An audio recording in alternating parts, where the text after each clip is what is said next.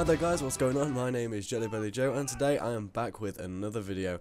Now in this video we're taking a look at Rome Total War's Gore Pack, or Blood and Gore Pack, and it is pretty goddamn epic. Now I think personally, from a personal opinion perspective, this is what this game needed. Now what you're seeing on the screen right now that I'm live commentating over is not actually me playing. I am doing a replay of something which I do in my spare time, especially when the Blood and Gore Pack came out. I decided to line around two full armies of 2,400 men of Egyptian swordsmen versus a few groups of uh, Macedonian swordmasters. Now, if you wonder what mas uh, sorry, not even master, I don't even know how to say that.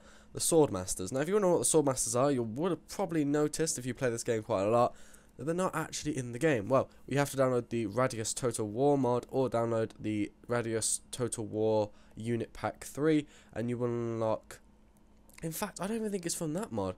In fact, I think it's from a different separate mod that adds Swordmasters to all the Hellenic factions. But regardless, I decided that uh, I would pitch this many men versus the Swordmasters. Now, the Swordmasters cost 2,000 each to buy, so they are one hell of a troop. I think they have 100 melee attack, etc., etc. We'll try and keep some reputable FPS here, but I doubt we'll be able to achieve that in this video. But that's not really what I want to talk about, apart from going in and seeing the action anyway. But um, the blood and stuff splatter everywhere. Blood and Gore Pack is absolutely fantastic. Now, 199 on Steam, you really can't go wrong. Now, why do I say it's fantastic? Well, everything I've seen about Romans, about Rome, ever since I was little, it's always been about the gritty truth of Rome. It's always been about the fact that Rome was quite a dark, you know, there's a lot of internal struggles going on, and it's just awesome about the bloody and violent battles, which were in the Roman times. Now, you can imagine if you're fighting in the Roman times like this right now, there was a hell of a lot of, you know, quite, quite gruesome pictures inside of a battle. You know, there's not, it's not really like rainbows now where we're shooting bloody guns from 500 meters away. This was up close, personal, stabbing, chopping, dislimbering. You know, it was quite, really quite um, disgusting stuff. And that's what I love about the Blood and Gore pack is the fact that it captures that. It captures everything about it. And I just absolutely love that picture. And you know, um, and it adds something to the game. You know, when you decide to, you know, really go and have your last final stand, there's blood shooting everywhere. You know, you're really going for it.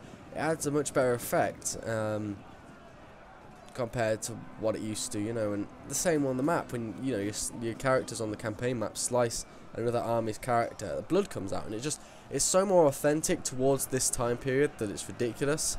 Um, in my opinion, I, I absolutely love it, and I think this game, in a way, is all about authentication. Um, it's not authentication, but really involving the player and what it was like in the Roman times, um, generally, and this kind of era. Um, and that's something which for me the original Rome no sorry Rome Total War 2 when it came out it didn't do it didn't capture that really gruesome side of it I mean the diplomacy system was a bit weak everything about it was a bit weak and I wanted to see more grit that's what the Romans were about it was quite a gritty time period with a lot of a lot of bloodshed really and a lot of you know a lot of different people trying to expand in every different direction. Now, if you're wondering why my men aren't getting owned here, they cost 2,000 each, sorry, have 100 melee attack, and they are versus Egyptian infantry. Now, if I get the thing up here, Egyptian infantry have 8 melee attack, uh, and they are really lacking in nearly pretty much everything. If we go over here to my uh, sword masters, they pretty much boss out everything on this earth. So as you can imagine, in this battle, even though I'm outmanned about 30 men to 1, uh, I don't lose. Now that was a major FPS lag. Let's try and keep the camera down.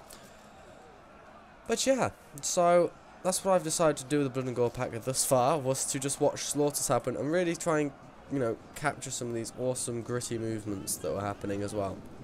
Now these soldiers do look awesome, and yet again, it's thanks to mods that we have these awesome men in. Now there's some really kick-ass moves inside, you know, this battle in general. In fact, every battle in general with the Blood and Gore pack.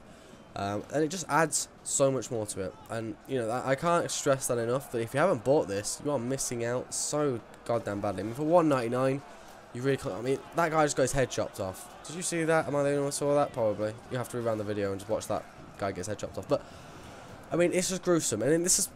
I think that this Blood and Gore pack is probably worse than the one in Shogun 2. Uh, not worse as in it's, like, not as good. As in it's worse as in there's a lot more blood, a lot more...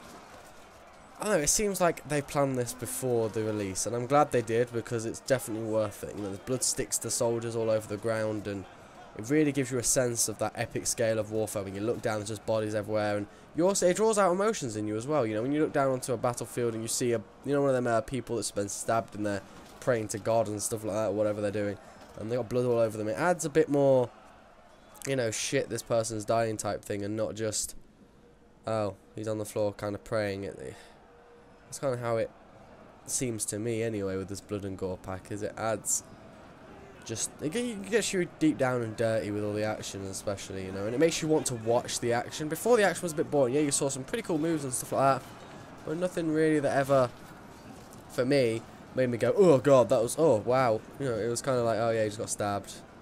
Big boo. There's nothing really too amazing about the whole experience. Whereas the blood and gore pack if you haven't got it I would definitely recommend it. There's some sick ass moves. I mean, they're not new moves, but they're moves that are add like they just become awesome now because of the blood and gore pack, and it's so blatant to see. But as you can see here in the battle, anyway, going back to what's happening in the battle itself, um, the enemy is pretty much routing from all directions. Now, I think when they all get to here, they all time around because they're only partly routed, and then they all start to regain formations, and I send some after them, etc., etc. So what we'll do is we'll speed this up so we can get this battle out of the way. In fact, wow, that's laggy as hell. Look at that. That FPS. That was beautiful. I was on 4 FPS for a second there, guys. 4. Please, get with it.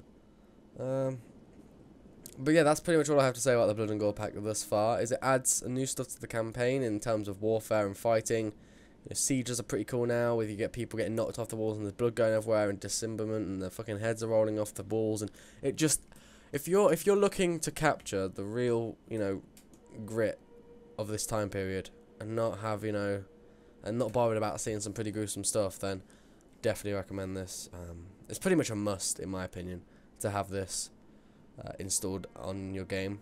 So I definitely recommend getting in uh, loads of mods installed you know get these men get everything like that. Uh, Radious if you haven't got it fantastic mod really adds something to the game in terms of depth. Um, I really get this Blood and Gore pack because it's definitely worth it. And uh, as you can see here, the battlefield just in general it's pretty goddamn gruesome. Pretty goddamn gruesome.